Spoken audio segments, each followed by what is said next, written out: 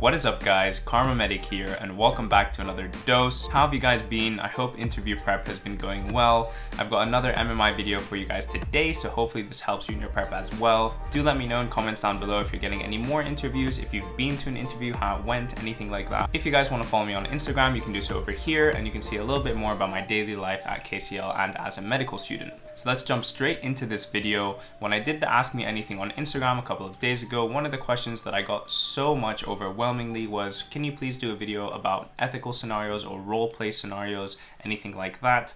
And so today I'm going to be doing a role playing scenario about breaking bad news. Now, for medical school interviews, don't worry, you're probably not going to get a role play scenario where you have to break bad news like um, a patient having cancer or having received a very bad diagnosis or even maybe um, some complication having been had in surgery so now they have nerve damage or brain damage or anything like that. Those are super super difficult scenarios that we probably wouldn't get asked in an interview for medical school so how these questions typically present themselves in a medical school interview is that you'll be given a small blurb saying something along the lines of um, your friend went on vacation and you had to look after their pet or you had to watch over their house or something like that and while you were doing that either you broke one of their favorite ornaments like a vase or a flower pot or something like that or you managed to run over their pet or their animal died while they were under your care, something along those lines. That's a more likely scenario of how you would have to break bad news to someone. So as far as how you break bad news, this is a really important skill and something that you definitely need to learn over your course of medical school. And it's good to know a couple of things for the medical school interview as well. So breaking bad news is obviously very difficult.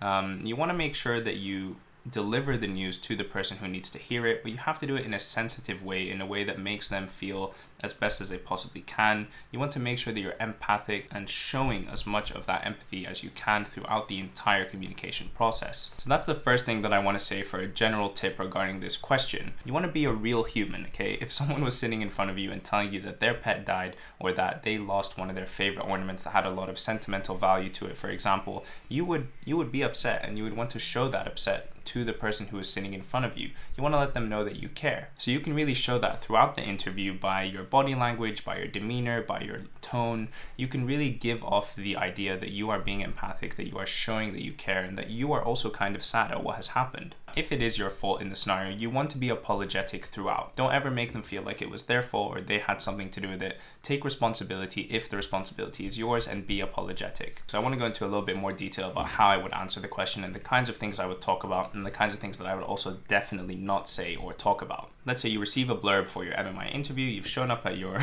your interview, you go into the first station, you read a little piece of paper that says, in this role play, in the scenario that you're about to do, you and her are close friends. You've been house sitting whilst your friend has been on holiday, and you have to explain to them when they got back that you've run over their cat by accident when you were backing out of the garage. When you tell the actor, the actor becomes hysterical and very angry, and yeah, what do you do? How do you tackle the situation? How do you talk to your friend who's just come back from holiday and you are the one who has ran over their cat? And you might think that this sounds really crazy and it's like way too out there of a scenario, but you will get scenarios like this that are meant to make you feel a little bit uncomfortable, that are meant to be quite difficult so that you guys can be put in that situation so that you can show how you would deal with something of this serious nature. So let's start off with the very beginning. When your friend comes home from holiday, you're not going to immediately jump into saying, whoa, whoa, before you tell me anything, I need to tell you this you might want to make a little bit of small talk, just ask them a bit about how their holiday went so that they can kind of be eased back into their situation a little bit before you break the bad news. I don't think this is entirely necessary, and in fact, some people would probably want to know immediately before they settle down, before anything happened,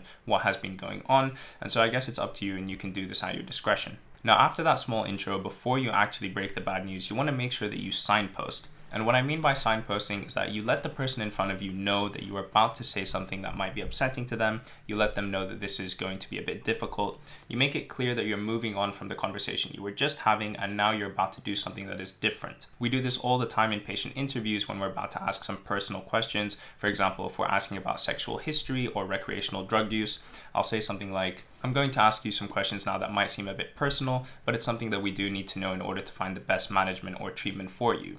And then I would say, have you ever used any recreational drugs or are you sexually active? One at a time, obviously. But anyway, so signposting is super, super important. It lets the person know that there's something coming. It lets them know to prepare themselves a little bit. If your scenario happened to be in a patient setting, in a clinical setting, then this would also be a good time to ask the person if they're prepared to hear this news at this moment. You can say, Are you ready to hear this news now, or would you maybe want to come back with a family member or a close friend or something like that if that would make it easier for you? You want to give them that option and ask for their permission before you break this news to them.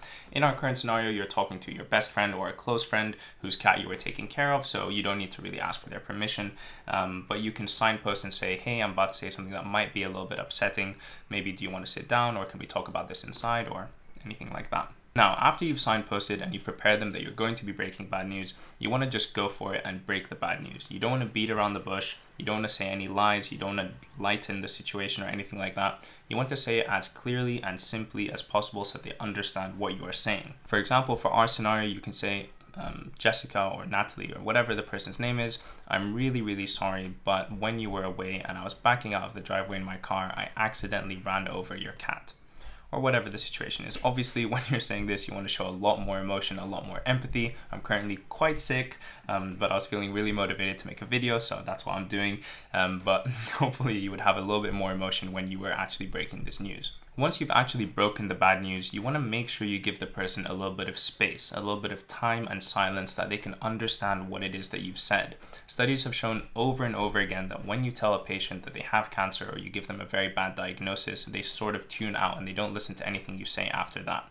So once you've broken the bad news, you want to just be a little bit silent, give them some space to understand and take in everything that's going on. So now you've broken the bad news probably the hardest part for the patient or for their best friend is over now. They've heard the worst of the situation, and now you want to know how to manage it or how to deal with the person once they've become very angry or once they've become very upset. And that is going to be slightly more difficult to navigate. And I'll tell you guys a couple of things that I would definitely do and some things also that I wouldn't do. So I want to start off with things that I definitely would not do okay?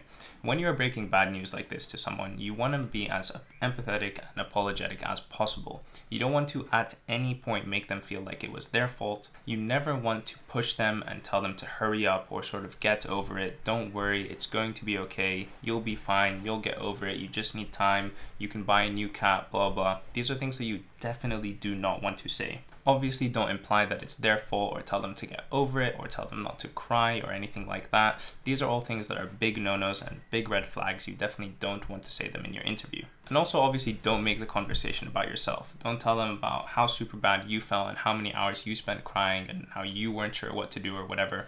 Let the person soak up this information and deal with it in their own way. Don't push them or tell them how to feel or try to move their feelings in a different direction than what they are going through. Now, let's talk about a couple of things that you definitely do want to do, some things that you should do when consoling the person in front of you after you've broken bad news to them.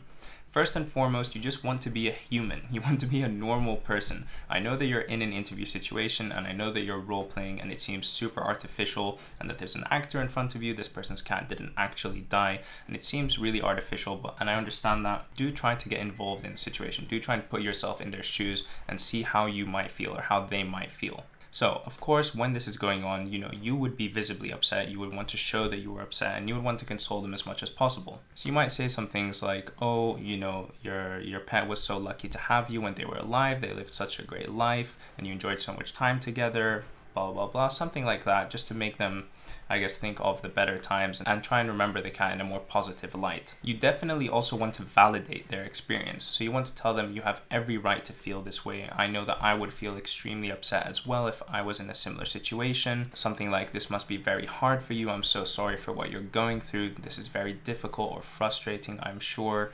something like that to validate their experience, to let them know that what they're feeling and what they're going through is okay. You definitely don't want to be saying things like, oh, don't worry about it, or don't cry, why are you so upset, you'll get over it. These are all things that are not going to help at all if you can't relate to their experience, you should also say that. You can admit that. You know, you can say, I've never lost a pet before, or I've never lost a family member before. I can't imagine what you must be going through. This must be very difficult. You can see that a couple things start to come up over and over again as well. And of course, you can also suggest that they reach out for help if they need it. You can say, you know, if you have any family or friends that can help you in this situation. And of course, you can also offer yourself as a means of support. You can say if you're ever upset or if you ever need to talk to someone, of course, I'm there for you. I want to talk to you and help you through this as much as possible. Like, please feel free to talk to me.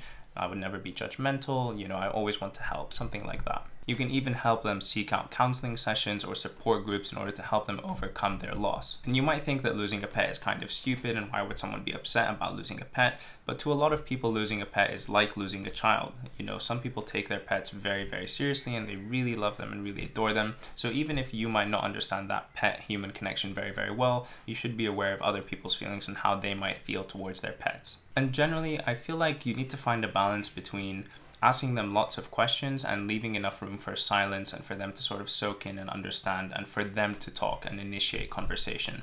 So I do think it's good to ask lots of questions in order to get them uh, maybe talking about how they feel or just expressing themselves. Generally, talking will help get things off your chest and will make you feel better. But don't forget to give them silence as well. And you can read the scenario, you can see how the patient or how the actor is, is acting, and you can feed off of their body language and demeanor and what they are saying. And yeah, sometimes just being there to listen to someone is going to go a really, really long way. You know, if you just sit there and listen to what they have to say, take in everything, and acknowledge their sadness, acknowledge their feelings, and make them feel like that's okay, that's going to go a very long way to helping someone feel better. And a really, really big tip if you're getting stuck or you're not sure what to say, and especially at the end if you haven't said this before, is always ask the actor, you know, do you have anything that you want to ask me? Do you have anything that you want to say?